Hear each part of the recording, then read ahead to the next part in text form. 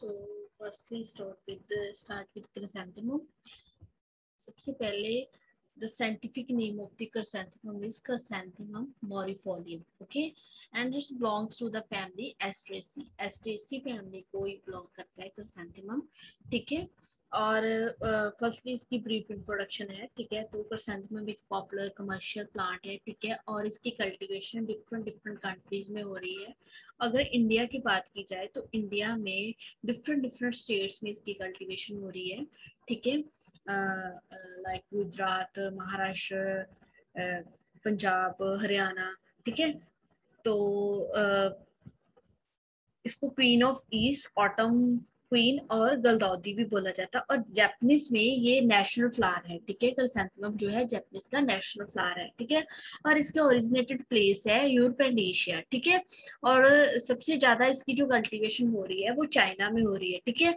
और इसकी different different developed species हैं, ठीक है? सेंसेस इंडिकम जैपनोसियम ओरिएंटम और मैक्सिमा ठीक है? ये इसकी डिफरेंट डिफरेंट जो मोस्ट डेवलप्ड स्पीसीज हैं, ये वाली हैं जो इनके नाम के मेंशन हैं, ठीक है?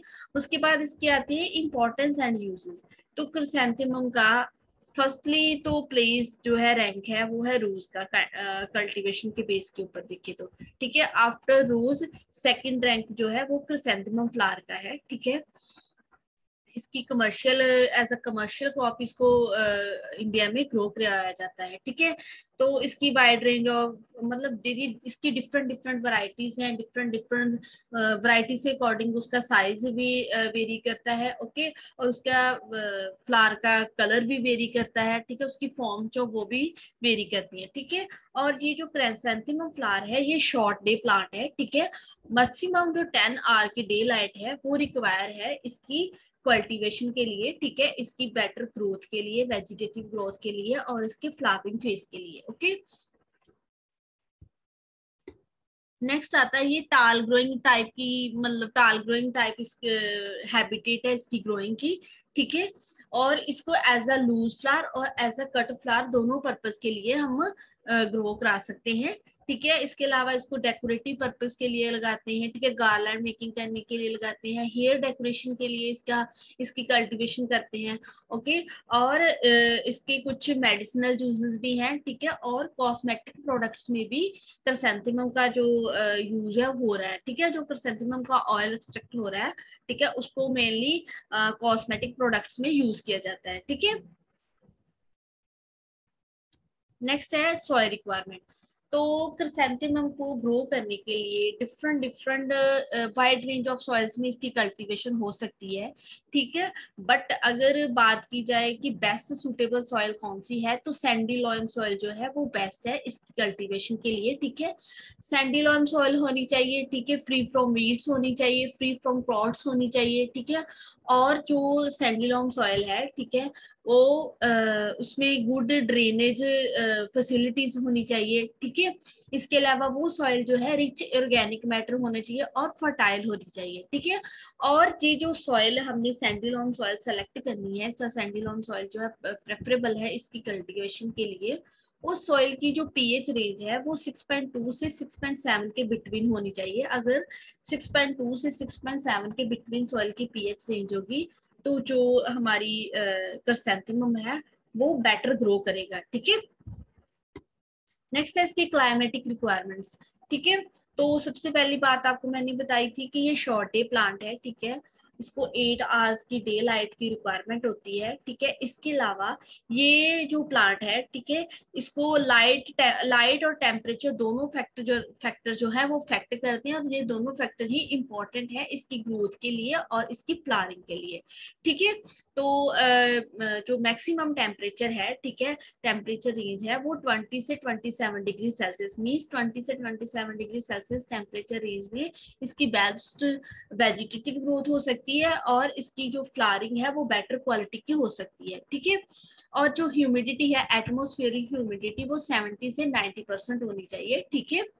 और ब्लड बर्ड फॉर्मेशन के टाइम पे और जो फ्लारिंग के टाइम पे जो टेम्परेचर रेंज है वो टेन से ट्वेंटी सेवन डिग्री सेल्सियस होनी चाहिए, ठीक है? नेक्स्ट इसकी आती है प्रोपेगेशन तो क्रिसेंथेमम फ्लावर को हम डिफरेंट डिफरेंट मेथड से प्रोपेगेट कर सकते हैं, ठीक है? तो इसकी प्रोपेगेशन के लिए सकर्स यूज़ कर सकते हैं, ठीक है? इसके अलावा हम इसकी कटिंग्स यूज़ कर सकते हैं, ठीक है? तो सकर्स में क्या करते हैं हम कि अपने जो प्लांटिंग स्टॉक में से शक्कर जो है, वो कलेक्ट करते हैं, ठीक है? शक्कर क्या, जो अंडरग्राउंड स्टेम्स होती हैं, ठीक है? उसको हम प्लांट में से सेपरेट करके उसको यूज़ करते हैं एज अ प्लांटिंग मटेरियल ठीक है? उसके बाद आता है कि आपकी कटिंग कटिंग में आपको पता है कि हम अपनी टर्मिनल कटिंग्स को यूज़ करते हैं एज अ प्रोपिकेटिंग मटेरियल ठीक है? और जो कटिंग्स लेनी है हमें वो फाइव से सेवन सेंटीमीटर लेंथ की कटिंग लेनी है, ठीक है? कटिंग वो हेल्दी होनी चाहिए फ्री फ्रॉम डिज़ीज़ होनी चाहिए, ठीक है? हेल्दी कटिंग ही हमने सेलेक्ट करनी है फॉर अ प्रोपिकेशन ओके इसके अलावा माइक्रो प्रोपिगेशन के थ्रू भी हम इसको प्रोपिगेट कर सकते हैं। ग्राफ्टिंग मेथड के थ्रू भी इसको प्रोपिगेटेड कर सकते हैं। बट तो मेनली प्रोपिगेशन के मेनली जो प्रोपिगेशन हो रही है कॉमन प्रैक्टिसेस है जो क्रिसेंथेमम में है, वो है सर्कस के थ्रू और कटिंग के थ्रू ओके नेक्स्ट है इसकी लैंड प्रेपरेशन की। क्रिसेंथेमम की कल्टिवेशन के लिए हमने लैंड कैसे प्रिपेयर करनी है? तो लैंड प्रेपरेशन का आपको पता है कि हमने वेल ड्रेन सॉइल जो है वो सेलेक्ट करनी है। उसके बाद हमने अपने फ़ील्ड को टू से थ्री टाइम प्लोइंग करनी है। उसके बाद हमने हेरोइन करनी है। हेरोइन के बाद हमने लेवलिंग करनी है ओके और at the time of the last ploughing हमने जो अपना एफ़ आई एम है, वो अपनी सॉइल में मिक्स कर देना है, ठीक है? उसके बाद हमें प्लांटिंग करनी है। तो हमने कट फ्लावर्स के पर्पस के लिए अगर हम अपनी कल्टीवेशन कर, रहे हैं तो हमने जून मंथ में प्लांटिंग करनी है।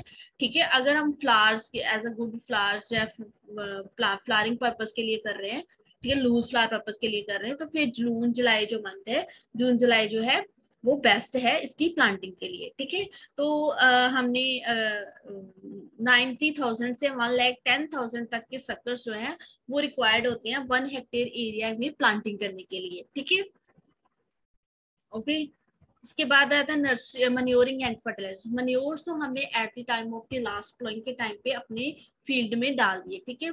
जो हमारे फर्टिलाइजर्स हैं ठीक है एनपी के वो हमने at the time of the planting डाले एज अ बेसल डोज तो इसमें मोस्टली एन और पी जो है, दोनों फर्टिलाइजर्स जो है रिक्वायर होती है पी की रिक्वायरमेंट कम होती है, ठीक है? तो एन जो है उसकी हाफ़ डोज और पी की full dose as a basal dose apply कर देनी है और जो नाइट्रोजन की हाफ़ डोज रह जाती है, उसको टू स्प्लिट डोजेस में हमने अपने फ़ील्ड में अप्लाई करना है, ठीक है? तो जो हमने अपनी पी नाइट्रोजन की जो स्प्लिट डोजेज में उसकी एप्लीकेशन प्रोवाइड करनी है, वो वन मंथ आफ्टर प्लांटिंग करनी है, ठीक है?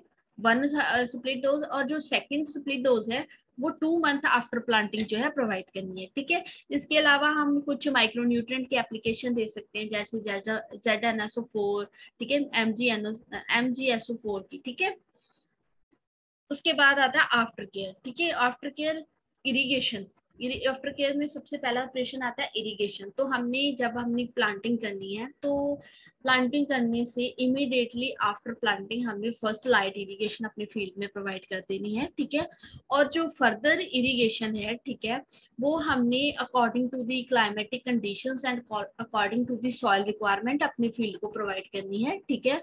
और समर में समर टाइम समर सीज़न में जो इरिगेशन इंटरवल है वो फोर टू फाइव डेज़ का होगा। और विंटर में ये जो इंटरवल है, ये टेन टू ट्वेल्व डेज़ का होगा, ठीक है? और इसके लिए हम स्प्रिंकलर इरीगेशन भी यूज़ कर सकते हैं जो स्प्रिंकलर मेथड है इरीगेशन का, वो भी यूज़ कर सकते हैं, ठीक है? ओके? नेक्स्ट है आपका पिंचिंग तो पिंचिंग क्या होता है? पिंचिंग एक मोस्ट कॉमन और मोस्ट इंपॉर्टेंट ऑपरेशन है, जो हम कर में फॉलो करते हैं, ठीक है? इसमें क्या होता है कि जो टर्मिनल ग्रोइंग पोर्शन है स्टेम्स का, ठीक है? उसको हम रिमूव करके उसकी पिंचिंग करते हैं ठीक है? इससे क्या होता है कि जो हमारे प्लांट की हाइट है वो रिड्यूस हो जाती है और जो fruit bearing flower bearing stems हैं उसकी ग्रोथ जो है वो प्रमोट होती है ठीक है? इसी पर्पज के लिए हम पिंचिंग करते हैं ठीक है? ओके okay, तो पिंचिंग जो फ़र्स्ट पिंचिंग करनी है उस हमने जब हमारे प्लांट की हाइट 15 से 20 सेंटीमीटर की हो जाती है उस टाइम पे फ़र्स्ट पिंचिंग करनी है ठीक है? और इसको, इसमें क्या होता है कि इनडायरेक्टली हम फ्लावरिंग डेट को भी कंट्रोल कर सकते हैं और जो नंबर ऑफ़ स्टेम्स हैं, उसको भी इजीली कंट्रोल कर सकते हैं ओके उसके बाद पिंचिंग जो है, उसके टू टाइप्स है, एक होती है सॉफ्ट पिंचिंग एक होती है हार्ड पिंचिंग सॉफ्ट पिंचिंग क्या होता है कि हम इसको हमारी शूट्स के साथ टू से थ्री ओपन लीव्स जो है रिमूव करते हैं। हार्ड पिंचिंग में क्या होता है कि हम इसमें जो लॉन्गर पोर्शन है हार्ड शूट का, वो रिमूव करते हैं, ठीक है? उसके बाद डिसबर्डिंग वो मैंने आपको बताया कि डिसबर्डिंग क्या होता है, ठीक है? उसके बाद आते हैं आपकी हार्वेस्टिंग हार्वेस्टिंग जो है जो ये जो हार्वेस्टिंग ग्रोथ पीरियड है इसका, ठीक है? ये वेरी करता है वैरायटी टू वैरायटी ठीक है? Generally four to five months after planting जो है, ये फ्लावर देना स्टार्ट कर जाता, देता है हमारा जो क्रिसेंथेमम क्रॉप है, ठीक है? और जो मेन क्रॉप अगर लगाएँ, ठीक है? वो उसकी ईल्ड जो है नाइन से टेन टन पर हेक्टेयर होगी, ठीक है? अगर हम इसको रिटूनिंग करके रिटून क्रॉप लगा रहे हैं तो उसकी ईल्ड फोर से फाइव टन पर हेक्टेयर होगी ओके उसके बाद हार्वेस्टिंग तो आपको पता ही कि थ्री से four month after planting harvesting start हो जाती है, और सिक्स ड्यूरेशन की ये क्रॉप है सिक्स ड्यूरेशन में ये रेडी हो जाती है क्रॉप ठीक है? अगर हम मेन क्रॉप लगा रहे हैं, ठीक है? और रिटून क्रॉप लगा रहे हैं तो वो फोर मंथ्स में रेडी हो जाती है, ठीक है? ये आपके आ, कुछ टाइप्स है क्रिसेंथेमम फ्लावर्स की। आप पिक्चर्स देख सके रेगुलर इरेगुलर में रिफ्लेक्स में डेकोरेटिव पर्पज के लिए कौन कौन से हम लगाते हैं क्रिसेंथेमम की वराइटीज ठीक है? ये इसके इंपॉर्टेंट कल्टीवर्स है ठीक है? इसके कल्टीवर्स जो है वेरी करते हैं। इनमें जो कलर है कलर डिफरेंसेस है वो कल्टीवर टू कल्टीवर वेरी करता है ठीक है? इसके बाद हम पैकेजिंग करते हैं। ये सारे ऑपरेशन जो है, ये पोस्ट हार्वेस्ट ऑपरेशन है, ठीक है? ये आपके कोर्स में नहीं है ओके तो ये आपका था क्रिसेंथेमम कल्टिवेशन ओके